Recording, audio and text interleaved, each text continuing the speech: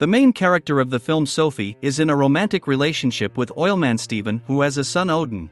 She is working on a project of a marine underwater drone for underwater search operations. In the evening, Sophie and her partner went to a party organized by Sophie's husband. It brought together Steven's colleagues, oil workers. Everyone was having a very good time, someone was playing games, and someone even managed to swim in the ocean. In the morning, Sophie came to work as usual. But after a while, she got a call and was informed that something had happened to the oilman, and Sophie and her partner urgently needed to go to them by helicopter. Having collected the necessary things, they were ready to take off, but a man approached them. He ran the emergency department. The man gave the non disclosure papers, and after they signed them, he began to leave. Sophie asked what happened and where they were being taken, but the man did not answer, but simply said that another representative of the emergency department would go with them. After a while, they were already on the ship. They were taken to a cabin specially prepared for them. They were told that an oil production platform had recently sunk. And she sank because of the subsidence of the soil. The purpose of their search was to find living people on the sunken object. Since the platform sank very quickly, air pockets could remain in it. William Liu, the emergency department manager, hoped that Sophie and her partner would use their underwater robots to search for people. That's what they did. The robot was lowered into the water and directed to the flooded platform. To enter the platform, it was necessary to open the door. With the help of a special remote control, Sophie was able to do this. When the door opened, a corpse appeared in front of the robot. He was immediately identified and the robot went on. After a while, another victim was found but they did not despair and continued on their way. A little later, they heard a sound and sent a robot there. There was a man standing on the stairs. At first, he was very scared of the robot, and then he realized what was the matter and began to ask for help. While Sophie and her partner were asking William what to do, the man began to choke and cough. Sophie immediately understood what was going on. She ran out of the cabin and ran to the captain of the ship. Sophie reported a gas leak, but it was too late. The oil rig exploded and the ship on which the main character is located is damaged and ends up in the hospital. Steven comes to pick her up and since Sophie can't be alone, they go to live in his house. Sophie's assistant Arthur, looking through the videos made by their underwater drone, found that the cause of the disaster was not subsidence of the ground, as stated in the official version, but a giant fracture of the seabed of the North Sea. The next morning, Stephen is called to the oil production platform to work. Sophie and Odin stay at home. Arthur called Sophie and asked her to come. Arthur informs Sophie about his discovery, and she contacts the head of the emergency department of the Saga Company and shows him the video and the cause of the disaster.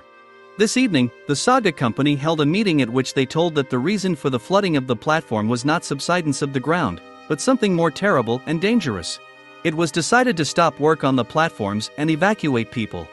The evacuation began in the morning. There were about 350 oil platforms in total, and there were people on each of them who needed to be rescued. The evacuation was announced on the radio, and Sophie started calling Stephen. On the very platform where Stephen is located, almost all the staff was also evacuated except for the last batch, and then they receive a message that one of the wells on their platform does not close automatically and it must be closed manually. Stephen volunteered to do it. Meanwhile, communication with all platforms at the headquarters was cut off. Stephen went down to the level of the well, and when he was about to close it, there was a water breakthrough and the tunnel was flooded with water.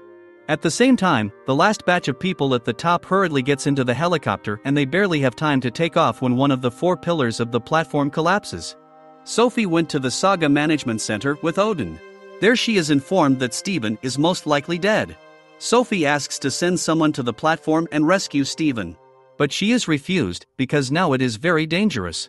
Sophie does not believe in the death of her beloved and asks to show her the videos from the surveillance cameras.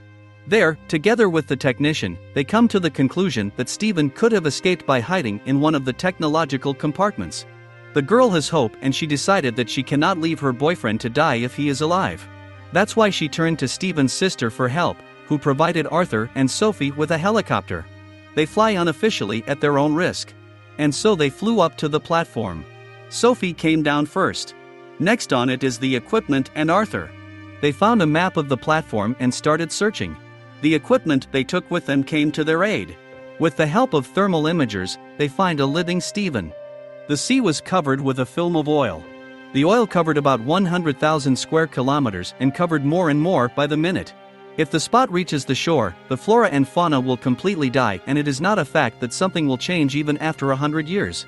Also, oil will reach the shores of Tribute to Germany and the Netherlands. People have never faced such a huge leak and therefore did not know how to act in this situation. The oil slick should reach the shores no earlier than the evening of the next day. But there was one way out. This has not been practiced yet, but the conditions were suitable for burning a spot. Sophie and Arthur finally find Stephen. He was wounded but alive. Sophie helped him out of his hiding place. Meanwhile, in the control center, with the participation of the minister, it was decided to set fire to the spilled oil with the help of bombing. Friends climb up and see that the sea is covered with an oil film. Stephen got through to the control center and asked for help, but they were told that the bombers had already set fire to the oil in the sea and there was no rescue. Sophie comes up with an idea of how to escape. To do this, it was necessary to fill the boat with water and sink below the fire. The fire was approaching, but the friends continued to act. There was already enough water in the boat, but the slug that supplied the water got stuck. When Sophie tried to pull him out but did not calculate the strength and fell hitting her head. But that didn't stop her and they all ran into the boat. Having fastened their seatbelts, they were ready to leave, but something went wrong and the lever stopped working.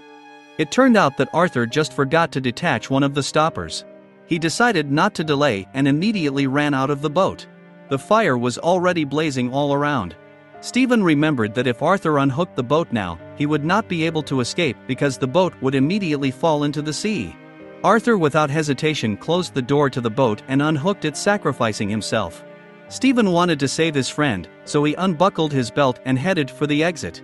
But the boat had already detached itself and was flying down. That's why he hit his head hard and lost consciousness.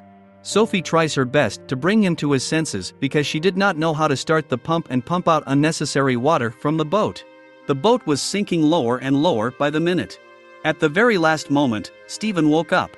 He immediately explains to Sophie where the pump is located and she pumps it out.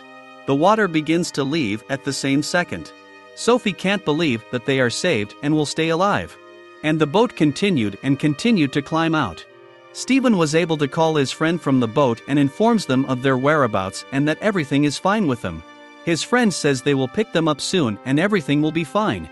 Stephen asked me to pass the phone to his son, who had been at headquarters all this time and was waiting for Dad and Sophie.